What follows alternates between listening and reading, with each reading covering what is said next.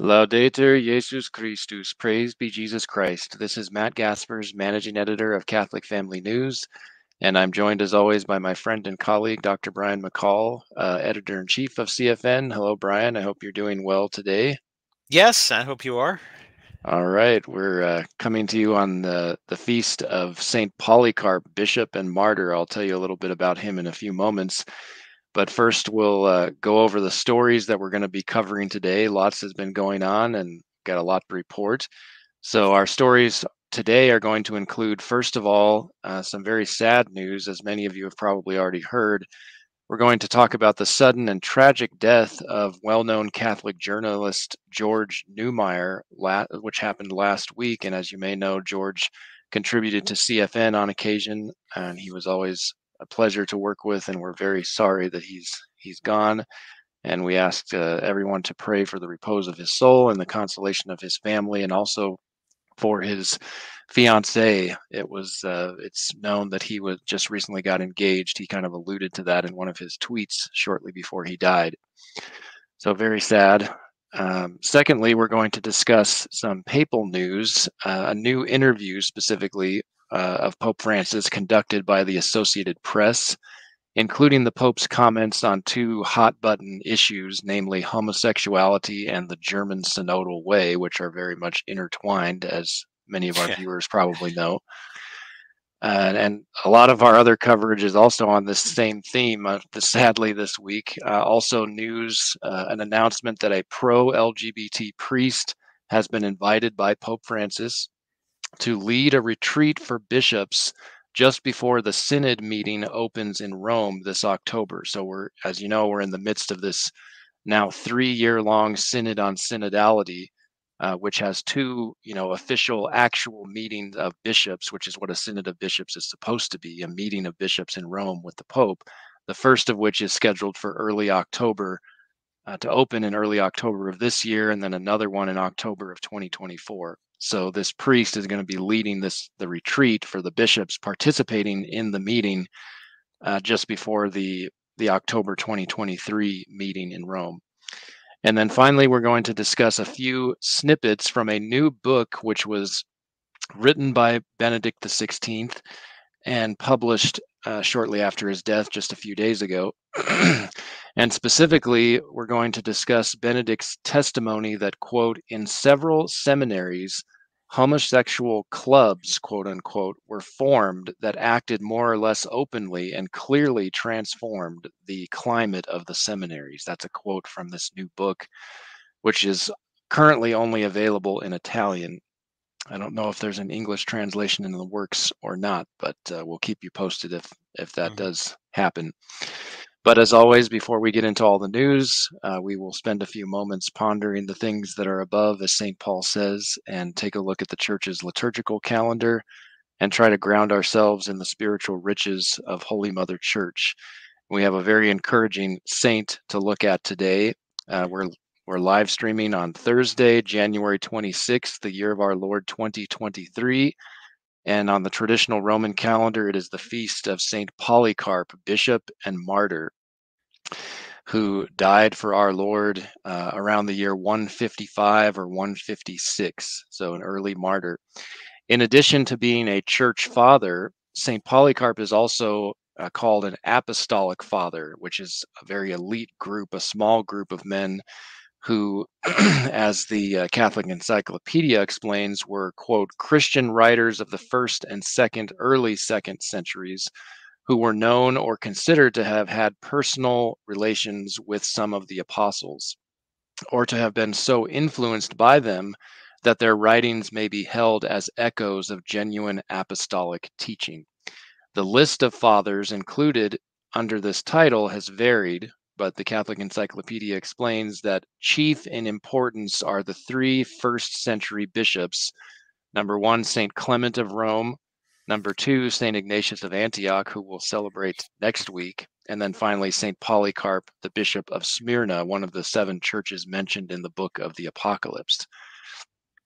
Um, so, just a couple of interesting things about his life. So he was a personal friend uh, and a fellow bishop of uh, Saint Ignatius of Antioch, the famous early apostolic church father who wrote a series of letters on his way from um, Antioch to Rome to be martyred around the year 110 AD. and one of those letters was addressed to our saint of today, St. Polycarp. Uh, St. Ignatius wrote to him, quote, Be pleasing to him whose soldier you are and whose pay you receive. May none of you be found to be a deserter. So he's using that um, military imagery, kind of like St. Paul does in his epistles. Let your baptism, Ignatius says to Polycarp, be your armament, your faith, your helmet, your love, your spear, your endurance, your full suit of armor. And I also wanted to read just a, a brief excerpt from the martyrdom of St. Polycarp, which is one of the earliest, if not the earliest, account of a martyrdom uh, that we have from Christian antiquity. So it says, Now, as Polycarp was entering into the stadium where he was going to be martyred, there came to him a voice from heaven saying, Be strong and show yourself a man, O Polycarp. No one saw who it was that spoke to him, but those of our brethren who were present heard the voice. And as he was brought forward, the tumult, tumult began, became great. And when they heard that Polycarp was taken, and when he had come came near, the proconsul asked him whether he was Polycarp. On his confessing that he was, the proconsul sought to persuade him to deny Christ, saying, Have respect to your old age, and other similar things, according to their custom, such as, Swear by the fortune of Caesar, repent and say away with the atheists in other words those who refuse to uh, recognize the roman pagan gods the idols. But polycarp gazing with a stern countenance on all the multitude of the wicked heathen in then in the stadium and waving his hands toward them while the groans uh, while with groans he looked up to heaven and said um, then the proconsul er- said away with the atheists, but he was referring to away with these heathens, essentially. Then the mm-hmm. proconsul urging him and saying, Swear, in other words, by Caesar, and I will set you at liberty. Reproach Christ.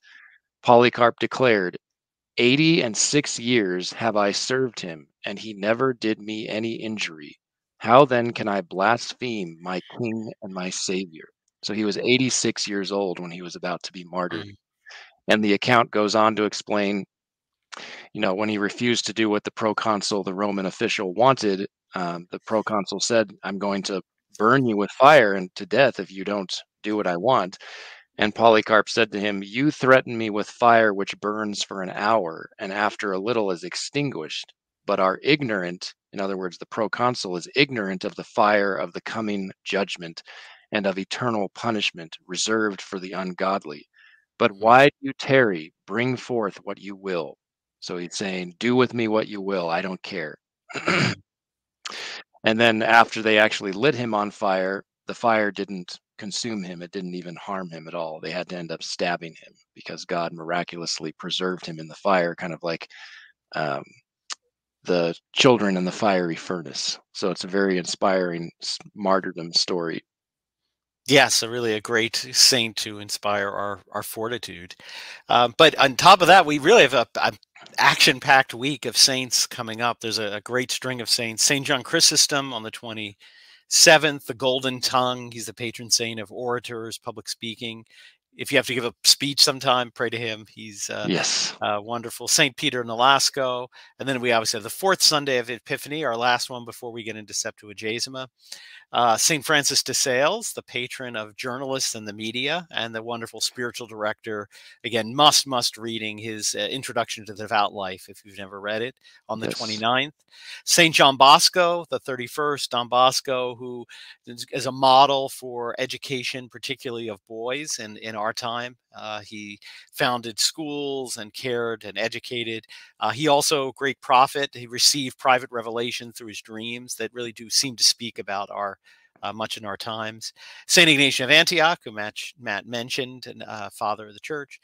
And then finally, they capped off next week with the purification of the Blessed Virgin Mary on February Uh, second, the Great Feast of Candlemas, which brings the Christmas Epiphany season to an end. Uh, if there's a high mass, there's a before mass, a beautiful triple blessing of candles with rich in symbolism about the candles, mm-hmm. uh, and then the procession with those candles as a, a way to, to drive the tenebrae, the darkness, uh, out uh, in this sort of dark time of winter. Uh, and as we're about to enter the the sort of dark preparation in a sense of of Lent, so it's a uh, beautiful. This is traditionally when February 2nd is when creche scenes, nativity scenes are put away because it, it again marks the end of that that cycle. Uh, but a beautiful ceremony, a beautiful mass.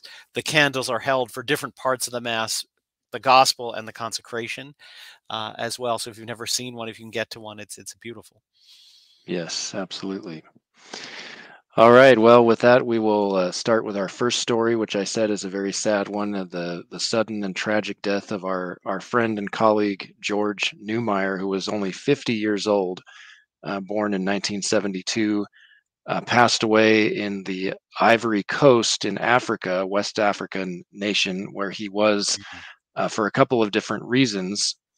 Uh, first of all, to do research for a new book, as he said, and also he was engaged to an an I, I've Ivorian, I think is what he said, so someone from from, from the, the, Ivory, Ivory Coast. Coast. yes, uh, and he had a showed a picture with her. That all of this is documented in my article, uh, kind of a tribute to to George on our website, CatholicFamilyNews.com. I'll just kind of hit some of the highlights. So uh, a week ago today, early in the morning, one of the first things I saw on my Twitter feed was a tweet from the Lepanto Institute, which is led by Michael Hichborn, who is a, a friend and colleague of George, that said, please, please pray for our friend George Neumayr. We just received word that he died of malaria last night in the Ivory Coast. And I touched base uh, with Michael Hichborn, uh, who I knew had been a, a friend a, a friend and colleague of George, and he submitted this statement for which I published, included in my article. He said George was a one of a kind investigative journalist and a dear friend. His moxie in the face of deeply entrenched and depraved prelates was unmatched by anyone, and his absence is a great blow to us all. he had an eye for truth and a nose to unearth it. He will be sorely missed, and I hope to see him again in the kingdom of heaven. Hmm. So, a very nice tribute to George. Uh, the Lepanto Institute, the same day, last week, Friday, January 20th, also tweeted uh, regarding the death of George Neumayr. Here is what we know from confirmed sources. And I checked in, and these sources are from family members of George. So, it's firsthand information. Uh, it said that George was sick seven days ago. So, that would have been like January uh, 12th or 13th, George steadfastly refused to go to the hospital. And then finally, the U.S. consulate tested his body and confirmed that he tested positive for malaria. So that is the report from those confirmed sources, namely his family members. I was actually in touch with George through, uh, you know, Twitter direct message. We would message each other occasionally uh, in mid to late December because George was doing a lot to um, really press on the issue of uh, the Bishop of Richmond, Virginia, mm-hmm. uh, Bishop Barry Knestout, who George found out. I think it was already public knowledge, but George was kind of um, pressing the issue that Knestout had appointed a known public sex offender, Father Wayne Ball, uh, to be the pastor of a parish in the Diocese of Richmond. So, in my article on uh, CatholicFamilyNews.com, there's a tweet where he has video footage of him actually confronting Bishop Knestout at, at the front door of the rectory. The bishop happened to answer the door, and George, you know, respectfully but firmly started kind of interrogating him and asking him, How could you do such a wicked thing? So George was very fearless in that regard. He did the same thing. He actually discovered the residence back in 2018 where Theodore McCarrick was staying. That's before they transferred him to a different state, I think to mm-hmm. Kansas initially, and and McCarrick is currently in Missouri. So George was definitely a lion-hearted journalist. We need more like him, especially in the church.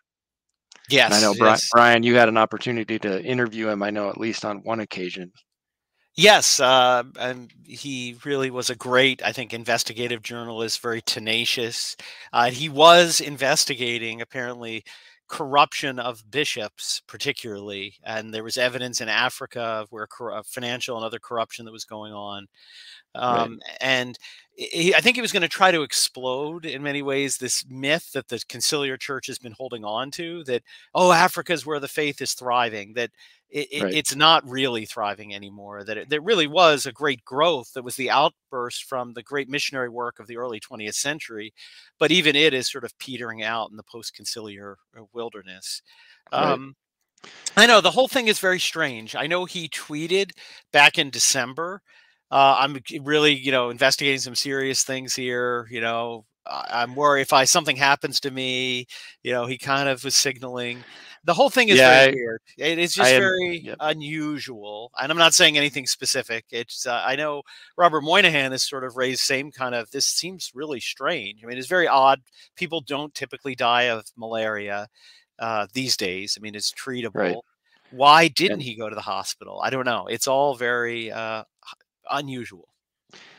Agreed. And I, I, embedded the tweet you're referring to in my article yes. so folks can see it. But on December 23rd, this is what George tweeted. It's a series of two, actually. He said, yeah. uh, and I, so someone, he's quote tweeting someone else who had tweeted to him, McCarrick is the Epstein of the church, meaning kind of like the, um, hmm. uh, the person who's organizing all of this, the filthy stuff going on. McCarrick is kind of like the ecclesiastical version of Epstein. So George said, and I suspect there will be some murders before this is over, maybe even my own. Mm-hmm. I am not joking. This is getting scary. But he followed up by saying, uh, but as self dramatizing as it may sound, I don't give a damn at this point. he was very blunt. I don't care what happens to me. I will, will not sit on my hands as these wicked charlatans defile Jesus Christ's church. It mm-hmm. belongs to him, not them. So he was very clear that he didn't have a problem with you know suffering the consequences of what he was the work that he was doing. He recognized it could be dangerous. The one thing that did does stick out to me as odd and again i have no concrete evidence that contradicts the the official confirmed source mm-hmm. material that we've received but also at towards the end of my article is a embedded a tweet. He tweeted a photo of himself what sitting at what appears, you know, his hotel. Well, he says it's his hotel. looks, yeah, looks right. to be at, you know, by the pool, just kind of relaxing, smoking a cigar. And he tweeted that um, on January fifteenth, so just four days before he died. And he doesn't appear to be ill. I mean, I I know nothing about malaria or what it does to a person, but it, that did strike me as a little odd. So. Yeah, I I don't know, but again, we certainly can pray for the repose of his soul, uh, for the good, and remember the good work he did do. Absolutely right, and we do have, and I've linked to some of his articles in my uh, tribute article, you so you can find if you go to CatholicFamilyNews.com and just search George Neumayr, several things will come up. So yeah, just to reiterate what Brian said, we definitely want to pray for the repose of his soul and also for the consolation of his family, and in particular for his fiance. There, I also include in yes. my article. Yeah, uh, there's a he tweeted several photos with her, so I'm sure she's beyond devastated right now. Um, so yeah, with that, we'll just continue. Speaking of. Yeah, speaking of devastation, we'll get to our next story. Yes.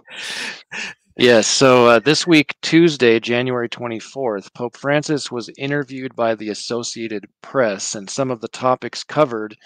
And just to be clear, you know, it was a video interview, but they they release, you know, they kind of drip it out over time. Yeah. They don't just release the full video, so we don't know what all is included in the interview. But the topics that they've uh, that they've revealed thus far include the the Chinese the Sino-Vatican agreement, the Vatican-China deal, homosexuality, the Pope's current health status, clerical sexual abuse, and the German synodal way, as well as other topics. Mm. So the two that we're going to focus on in our report today, well, I guess three. Uh, first, we're going to look at his uh, comments on homosexuality, then we'll get to the German synodal way, and finally the Father Rupnik okay. case.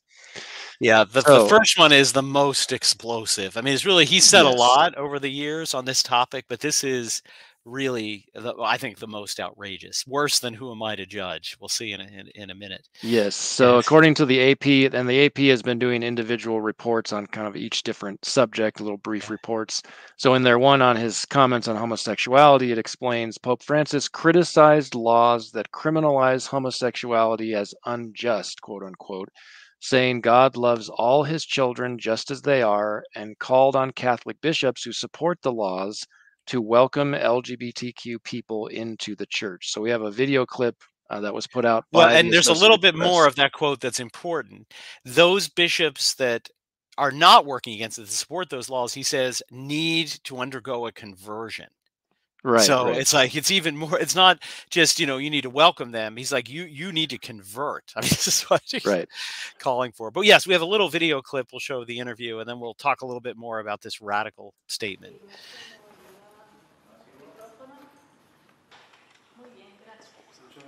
Of what he says.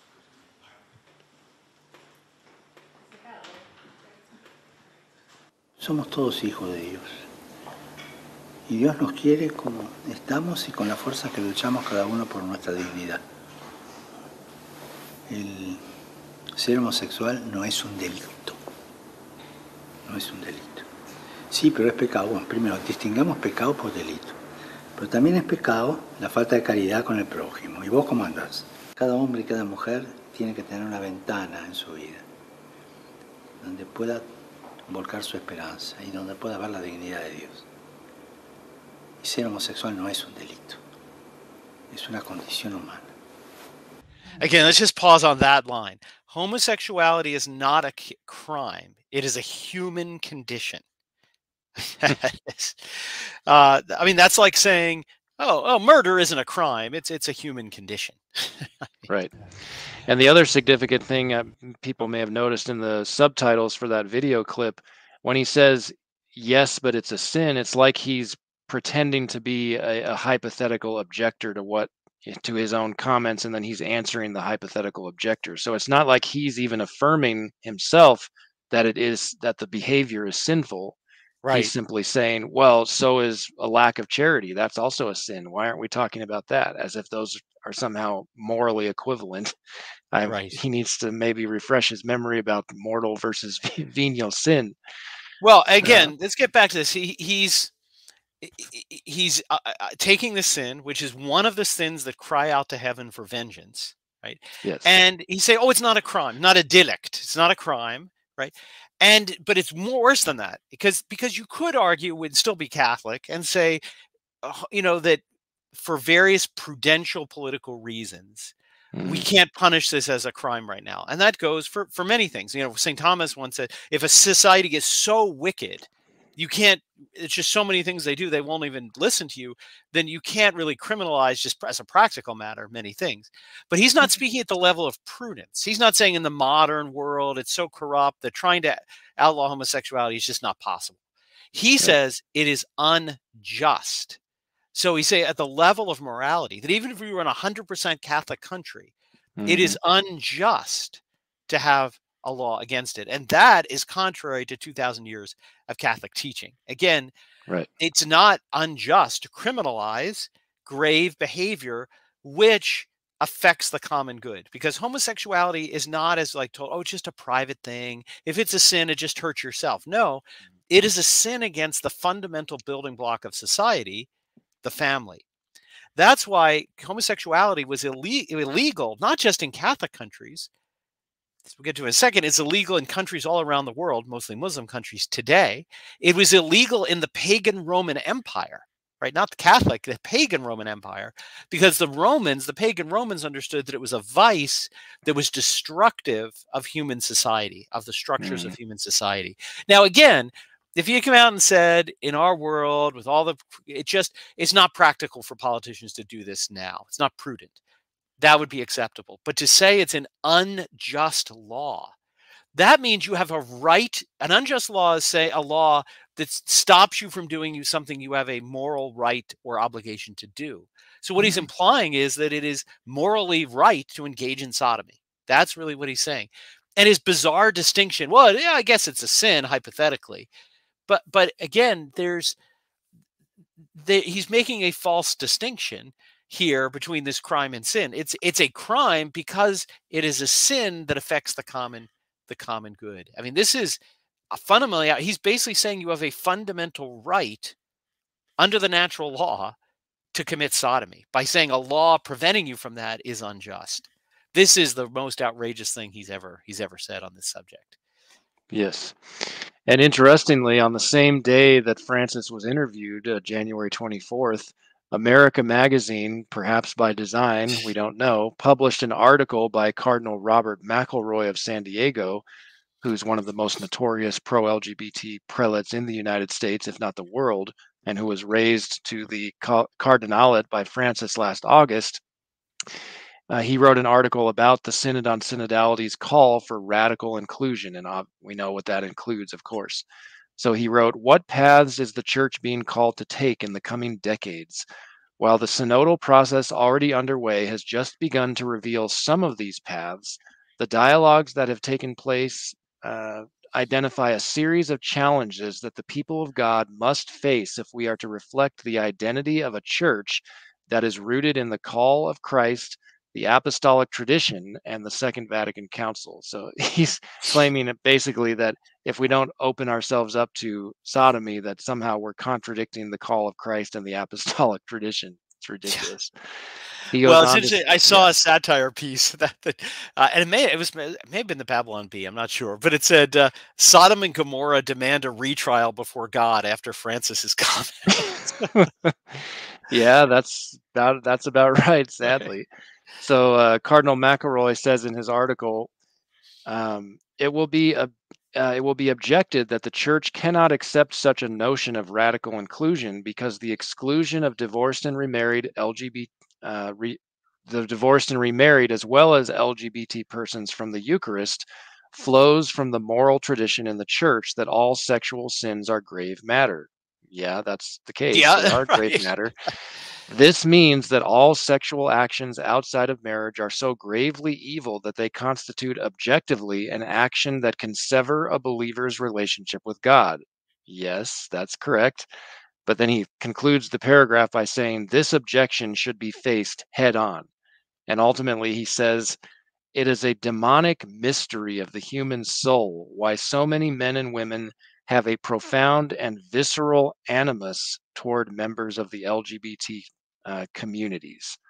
It's not really a mystery. We're concerned about the right. the harm of that very grave sinful vice on society and on souls. That it's not hatred of persons. It shouldn't be, but it is. It's not animus towards the person, towards the act, towards the right. sin, which is gravely, exactly. as the church has said, disordered. But again, it's clear he is surrounded. We'll get to this a little later, but he's surrounded by sodomites in the Vatican. It is, right. you know, the hierarchy's riddled with either active ones themselves, like McCarrick, or uh, those who are look favorably upon it and promote it. And he's right. shown, you know, who who he is willing to uh, support he come out in favor of. I mean through words and actions there's some more in this this program. And who is he against? The bishops that are standing up for the truth. He's saying essentially they need to be converted over right. to his his craziness. Now speaking of prudence and on top of all this he's just it's just utterly diplomatically unprudent what he did. Because this these statements were released right before he's about to travel to south sudan a country which criminalizes and enforces it uh, in a very brutal way, a way that Catholics would say is on is really too harsh, uh, but a very mm-hmm. brutal way. Uh, meaning, i.e., it's a capital offense. You're executed for it in South Sudan. He's about to go there, having said this. So where's his ecumenism with the, with the Muslims in South Sudan? He just threw that out the window, right? So in his pecking order, ecumenism with all false religions actually comes after with outreach to and encouragement of sodomites. Because remember what he said right. God loves you as you are. Well, that's not true. God doesn't love us as we are in terms of what we do, He loves us as He created us. And mm-hmm. He loves us for what He created us for. He doesn't right. love our sins. He doesn't love us in our sins. He loves us despite who we are, despite yeah. what we do, but not the way he worded it. He loves us as we are, which there's no need But I guess well, in his logic, doesn't he love the bishops who support these laws as they are? Shouldn't he just love them? No, there's no right. logic, obviously. So the one uh, kind of peculiar part of the very peculiar part of this interview is that Francis seems to kind of speak against the German synodal way, but he, I think he's speaking out of both sides of his mouth as he does at some yes. points, as the Peronist that he is, uh, modeling himself on his uh, yeah on the dictator Juan Perón, who was notorious for that kind of behavior. So regarding the German synodal way, this is what the AP reported. In the interview, the Pope said that while dialogue is good, quote, the German experience does not help. Those are words attributed to Pope Francis. He said the process to date has been led by the quote elite because it doesn't involve quote all the people of God, which doesn't make sense because every anyone in Germany who wants to participate can. That's my understanding. Francis says the goal must always be unity. And here's a couple other quotes from Francis in this regard. We must be patient, dialogue, and accompany these people on the real synodal path, Francis said, referring to his global consultation. The aim, he said, is to, quote, help the, this more elitist German path so that it does not end badly in some way, but is uh, also so is also integrated into the church. In other words, into the synod on synodality. Meanwhile, and this has been his his complaint all along. It's not against the substance of what they're saying, which is outright heresy. It's right. essentially you're doing it the wrong way. You're you're doing it too fast. You're elitist. You're not you're not doing my way. He's basically signaling again by not condemning what they're saying in substance that mm-hmm. hey i'm going the same place it's just you're going the wrong way follow me go my way not your own way that's not right. a real what really needs to be criticized about this synodal way. And something else to keep in mind for our audience, you know, while he's saying all of these seemingly critical things about the German synodal way, uh, the prospect of Francis appointing Bishop Heiner Wilmer, the you know a notoriously heterodox German bishop who's all in favor of the German synodal way, there is still a prospect that he will be a Francis will appoint this man to lead the Vatican's doctrinal office. That that claim has resurfaced uh, it's resurfaced yeah. via Messa in Latino, who's proven to be a very reliable source on such matters. They released an open letter in this regard. Mm. I'll include a, a, link to that in the description of this video.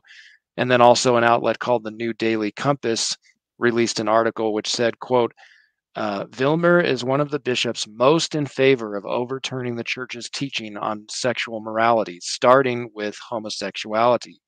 He is the one bishop who was annoyed by the opposition uh, of over a third of German bishops to the basic text on human sexuality during the Fourth General Assembly of the Synod of the Church in Germany.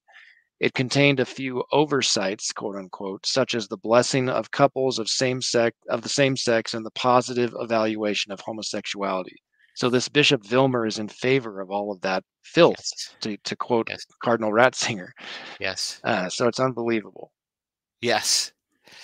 So very, very shocking uh, comments on really both of those fronts. And again, there's some conservatives who already jumped on this. Oh, he's oh he's criticizing the German synodal way. But again, be careful. He's not really criticizing what needs to be criticized. Exactly. And then the final aspect of this uh, AP interview we wanted to briefly discuss before moving on is Francis essentially denying that he had any involvement yes. in the Father Rupnik case. So if you remember, we reported on this. This Father Rupnik uh, was accused by multiple uh, nuns of psychological and sexual abuse uh, right. over a long period of time. And there were two cases running.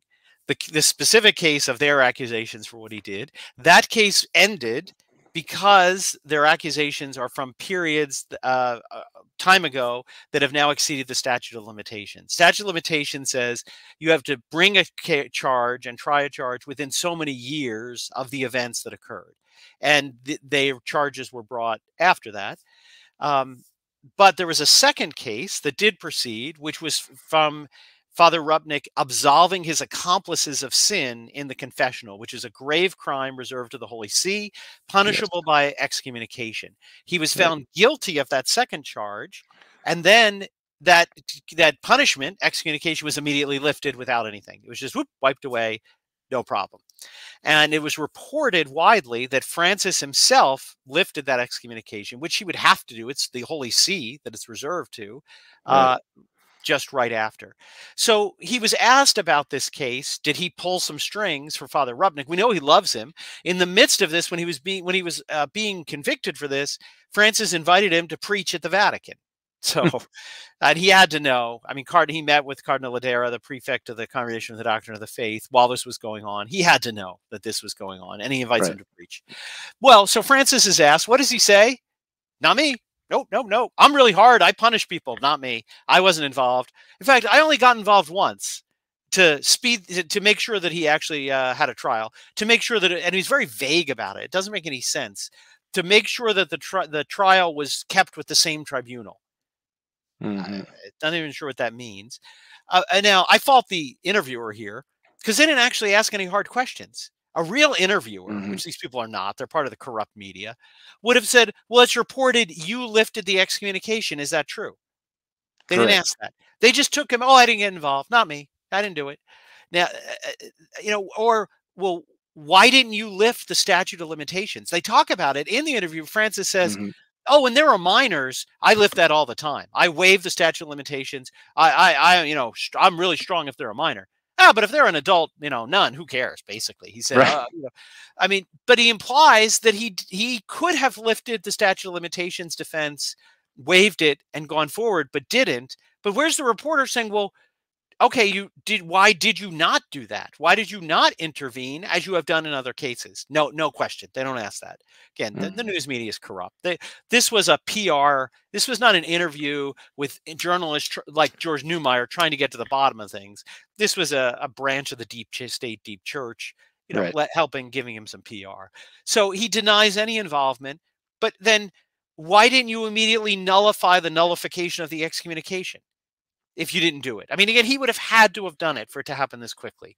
It's kind right. of like Father Pavone's, you know, issued without appeal. What that means is the Pope approved of his right. defrocking. Same thing here. So you know, he he he doesn't want to take responsibility, even in court of public opinion, for his Peronist acts of protecting his sexually deviant cronies. Right. Exactly right.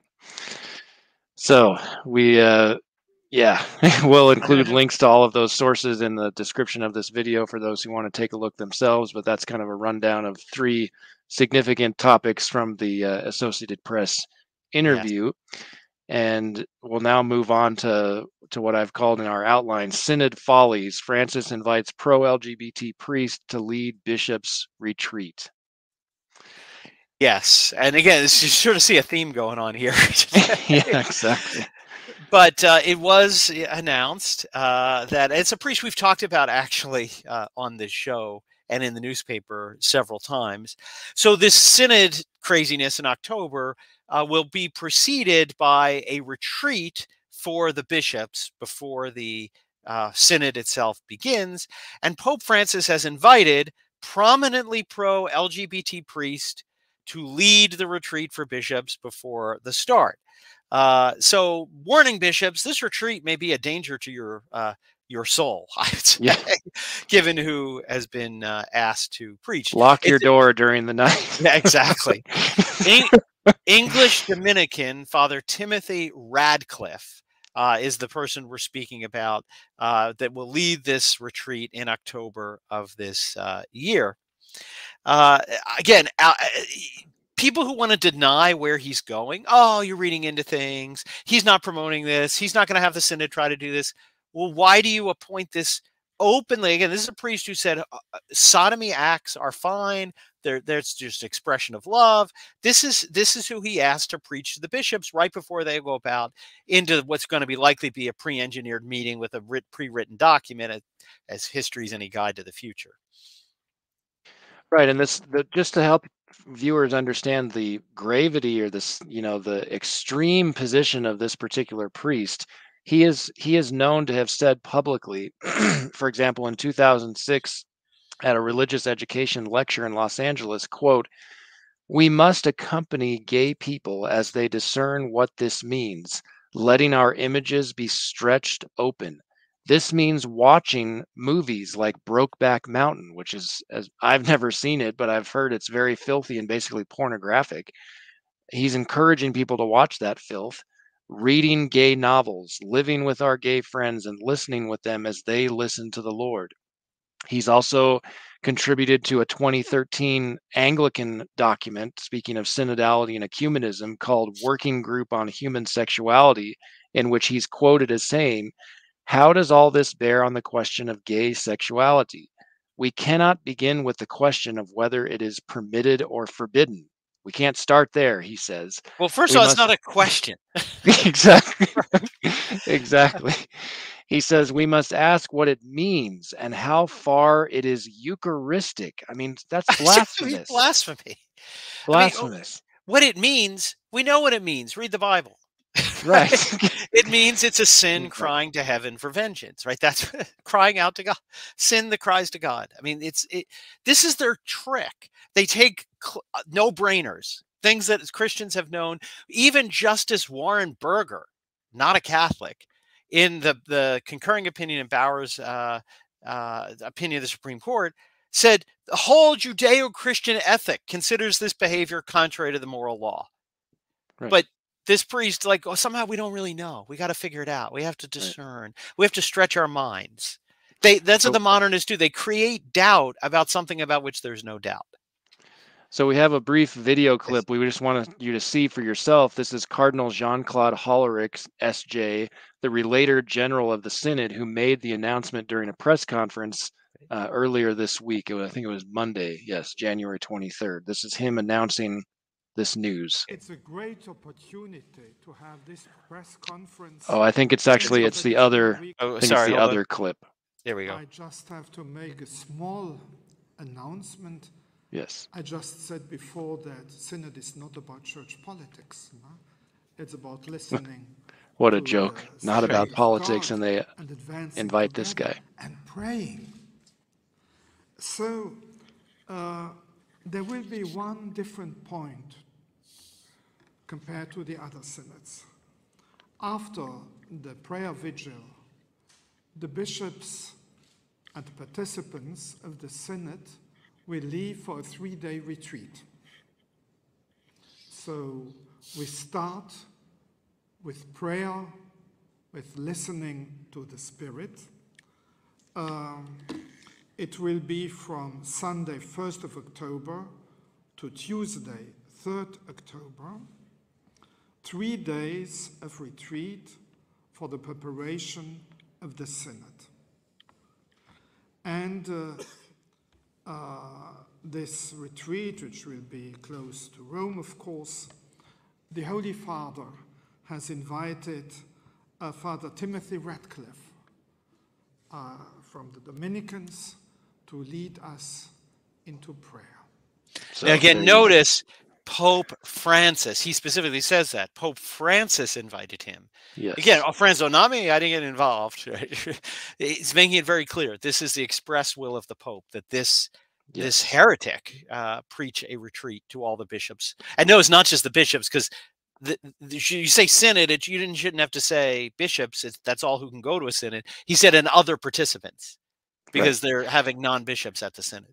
And you may have caught in that clip that Cardinal Hollerich talked about after the vigil. Uh, yes. What is he talking about? That so this press conference was actually to formally announce um, that what Francis had announced a couple weeks ago about there's going he's said there's going to be an ecumenical prayer vigil which will take place on Saturday, uh, September 30th in St. Peter's Square, just a few days before the synod of uh, the meeting of bishops in Rome starts.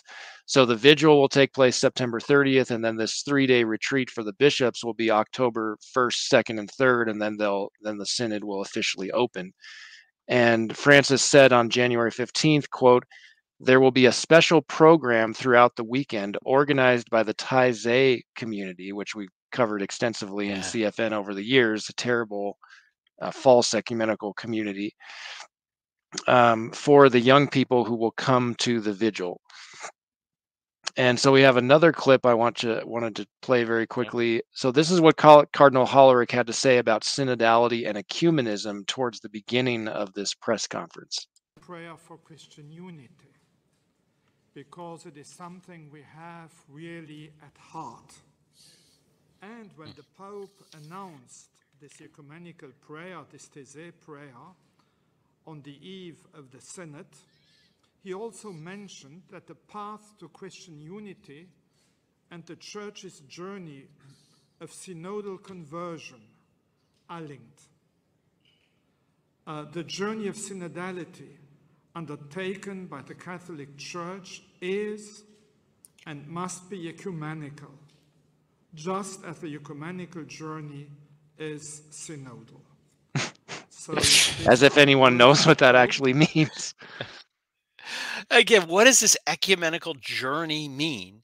Again, we knew what it meant through Pius XII, Pius XI, Mortalium Animos. The ecumenical journey is the return of the dissidents to Rome. Right. Full stop. Exactly. Their meaning is we're going somewhere. We don't know where we're going. John Paul II, ut unum sint. We have no idea where ecumenism is going. So you're on a journey that you don't even know where it's going. But sadly, we I think we do know. We do know because at the end, a little bit further on in that speech of his, Cardinal Hollerich says he feels that the church needs the participation of non-Catholics, quote, in order to be really on our path to conversion. But conversion to what, you might be wondering? Well, I think it's it's exactly to an embrace of homosexuality. If you notice on that panel to his um, to his right, to our left, there's an Anglican, you know, quote unquote bishop. Uh, they don't have holy orders, so it's a layman who looks like a cleric. Right. He's on the panel. He's a he's the personal representative of the Archbishop, you know, the foul Archbishop of Canterbury to the Holy See.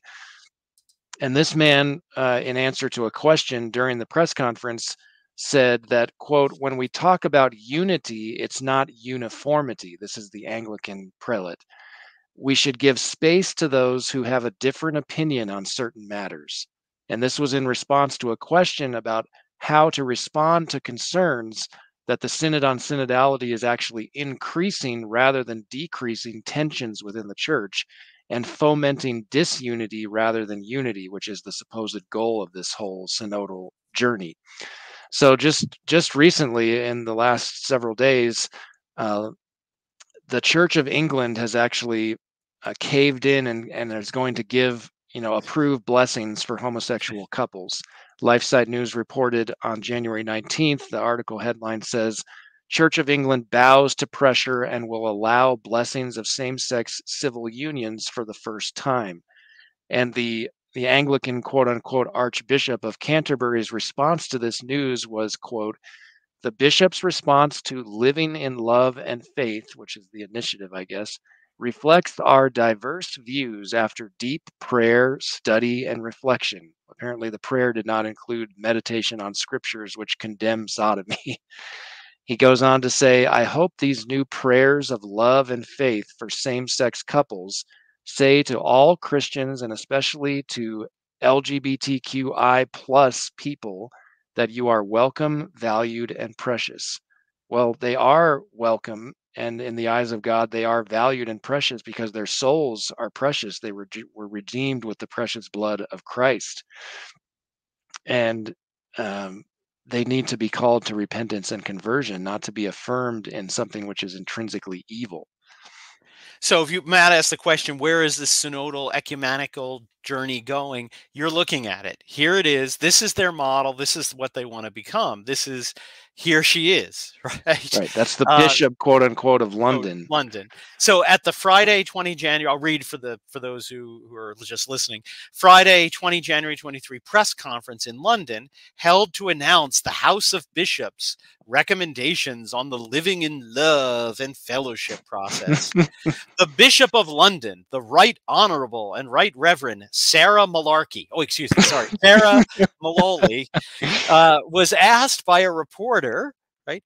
Gay Christians have been asking if we can have a civil marriage, come to church, and have that relationship blessed, are we still expected by the church to remain celibate? Or is it now uh, understood if the marriage is blessed and sex should take place within that marriage, then gay couples are allowed to express themselves sexually as well.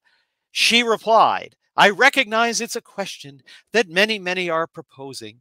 I think that what we recognize is that within the College of Bishops, there will be a range of views that are held on that. so there's synodality, right? There's there. synodality. And again, the, the, the person's question is absolutely right. If we can go do this, you can come in and bless us. We obviously are, you're okay with it. But this is what they want the synodality of ambiguity that where everything goes, God's loves you as you are. That's the face of the church that Francis wants, stare, laughing at you from that picture.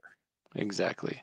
And just to close this story, we should recall the very um, important words of Cardinal George Pell that were penned just very shortly before his death and published by the Spectator regarding the synod. He said, "quote uh, The Catholic Synod of Bishops is now busy constructing what they what they think of as God's dream of synodality."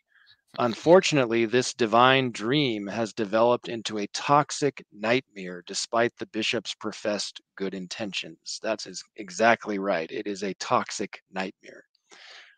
And it must be opposed uh, forcefully. Yes. Well, I think uh, little shift, although not completely from our theme. Uh, we're going to turn in our last story to uh, a recently published book, which uh, could be called Benedict XVI's Last uh, Testament. Uh, mm-hmm. this book was published posthumously just just after the death of Joseph Ratzinger, uh, who served as Pope under the name Pope Benedict XVI. And it's it's not actually so much a book; it's an anthology, really a collection of writings. Mm-hmm. But what's significant about them is they were all written during his strange retirement. So during the 10 years that he lived uh, in the, the monastery, uh, some of the writings from that period have already been published, but it will include, it does include the book, some uh, pieces which have never been published uh, before. Yes. And um, it was edited by a theologian and by uh, Monsieur Gänswein, his, his private secretary, who edited this and put it together and put it out. Its title is uh, What is Christianity? Che cos'è il cristianismo? As Matt, I think, said in the beginning, uh, it is uh, in, in, uh, Italian, available only in Italian right now. Right. Um, and uh, the uh, just read a little bit from it. it. says this volume a translation by Diane Montagna this volume which brings together the writings i composed at mater ecclesiae monastery this is benedict speaking is to be published after my death i have entrusted its editing to dr elio guerriero i mentioned uh, and uh, gladly entrust him with this my last work and that's the preface by benedict right. xvi uh, himself. Um, and uh, just give you a sense, Diane Montagna has posted sort of a list of the chapters. It really is classic Benedict the, the 16th. Uh, one chapter is on clarifying the concept of religions with which the Christian faith seeks to enter into dialogue. So it's again the needle that Benedict XVI, as Joseph Ratzinger tried to thread poorly into Dominus Iesus, that we're really preserving the Christian teaching while we adopt this new ecumen ecumenism. Again, his irreconcilable hermeneutic of continuity, continuity, I would suspect, is in that that chapter. Right. Two on the topic of nature, uh, monotheism, and Christian Islamic relations. So more ecumenism. Chapter three, Christian Jewish relations. You see the theme. Uh, yes. Uh, four is an interview on the question of why Jesus Christ died uh, in order to restore uh, disrupted order of sin, as uh, two texts on the priesthood and the Eucharist as part of it, uh, a developed version of the one published from the depths of our hearts. That intervention, uh, that book that created a big controversy, published when Francis was trying to destroy celibacy, and a text right. on the debate underway in Germany on uh, intercommunion. Uh, chapter five is on moral problems and on the sexual abuse crisis. And I think chapter five is what's getting the most attention right now. Yes, we'll come back to chapter uh, five in just a second. Just give you the last last bit. Uh, six contains uh, several texts marking anniversaries of the International Theological Commission, which has a pretty uh, spotty past in terms of its uh, some of its orthodoxy. And then it concludes with an interview on the topic of Saint Joseph.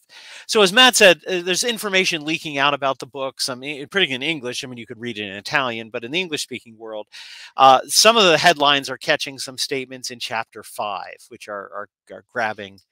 Uh, the news, and that is where, as Matt's already mentioned in the intro, uh, basically Pope Benedict, and he said this before. He said he he's learned that seminaries, essentially, uh, in many seminaries, gay clubs were established. He essentially confirms, frankly, we already knew, that the seminary formation of priests in the Vatican II Church has been taken over and dominated by a per, lavender mafia by homosexual cliques that are running the seminaries. Again, we know this in English speaking world. Michael Rose's uh, book goodbye good men. I have to admit it is the only book i, I couldn't finish. It is so uh, just uh, upsetting to read and he just goes and talks to seminarians former seminarians all over the united states documenting the outrageous flagrant sodomite behavior and cliques in seminaries. It, i was sick to my stomach. I got about two three fourths of the way through and just couldn't even read anymore. Uh, benedict the 16th again says he knows this went on, and he uses this to explain some of the root of the uh, sexual abuse crisis.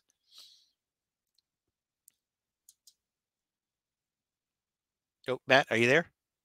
Oops, Matt? sorry, I forgot to unmute. Oh. Or there we go. Yeah. So the one uh, excerpt that's really getting a lot of uh, circulation online right now, I'll just read it. Uh, it's from that chapter five, and it says, "quote in several seminaries, homosexual quote clubs were formed that acted more or less openly and which clearly transformed the climate of the seminaries. In one seminary in southern Germany, this is Benedict speaking, candidates for the priesthood and candidates for the lay office of pastoral referral lived together. I don't know what a, lay office of pastoral referral is, but anyway. It goes on to say during communal meals, seminarians were together with married pastoral representatives, some accompanied by their wives and children, and in some cases by their girlfriends. I don't know if the girlfriends is in reference to the the yeah. lay um, or the par- or, or the seminarians. Who, who knows? Who knows? But it goes on. One bishop in the United States who had previously been a rector, and this is very shocking, yeah. had allowed pornographic films to be shown to seminarians, presumably with the intention of empowering them in this way to resist such behavior contrary to the faith. Well, frankly, that makes no sense with all right. due respect to Benedict. The intention would presumably be to inflame their passions and lead them into a life of sexual sin. Yes. Why else would you expose them to that filth? Um, if not to do that. It's certainly not a good strategy to show young men right. pornography as a means of somehow um, strengthening them against right. temptation. That's that's ridiculous. that's ridiculous. So, um, unfortunately, we don't currently have a whole lot more um, English translations of the content. As I said, I don't know if there's an English translation in the works. I would assume right. that there probably is or will be in the near future. Um, but it, you know, once it may, becomes available in English, or maybe our, our friend Chris Ferrara, who's fluent in in um, Italian, Italian yes, might yes. be interested in taking a look at it and reporting on it for us. We'll have to see, but but that is what we know about it thus far, and and what we know already is pretty shocking. So, yes. And then some, you know, one thing I have seen in headlines that I don't quite understand based on the snippets that I've seen thus far, but some people, like the Telegraph, for example, in their headline for the their article, Gay Clubs Run in Seminaries, says Pope Benedict in posthumous attack on Francis. So I haven't yet right. seen content which is attacking Francis, but somehow, for some reason, the Telegraph seems to think that it's somehow of an attack on Francis. Well, and that's interesting. If they would link this statement about seminaries to an attack on Francis, why? Because it must mean Francis is okay with this. I mean, that's that's right. seems to be implied by their right. by their headline. Right. All right. Well, that pretty much brings us to the end of our stories for this week. Thank you, everyone who has joined us live and everyone who will watch the recording. Thank you for joining us. Uh, please remember to like this video if you've enjoyed it and share it with your family and friends on your social media uh, accounts. That really does help us a lot to spread the content far and wide. And ultimately, if you enjoy the free content we make available online on our website and, and such, we do ask for your support in the form of a subscription to our monthly publication, Catholic Family News. If you visit our website, CatholicFamilyNews.com, and click on the new subscription tab, you'll find instructions on how to subscribe. It's only for those in the United States, it's only $42 a year for 12 issues of the print paper uh, as well as access to the e-edition uh, in Canada and elsewhere. It's a little bit more expensive, but wherever you are in the world, if you just want access to the e-edition, it's $32 for a year, and it also gives you access to you know like 18 months or more of back issues of the paper. So it's it's mm-hmm. quite a deal, quite a deal. And with that, I think we will conclude with a prayer uh, invoking Our Lady in the name of the Father and of the Son and of the Holy Spirit. Amen. Hail Mary, full of grace, the Lord is with thee. Blessed art thou amongst women, and blessed is the fruit of thy womb, Jesus.